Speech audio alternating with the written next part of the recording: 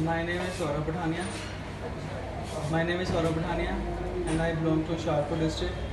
And uh, I passed out my 10 10th plus 2 in 2017 year with 65% and I got 6 bands and not less than 5.5 and I am very tense about my Canada visa but my one of my friend told me about Sai Overseas and it is true that their services and the, the staff members are very good.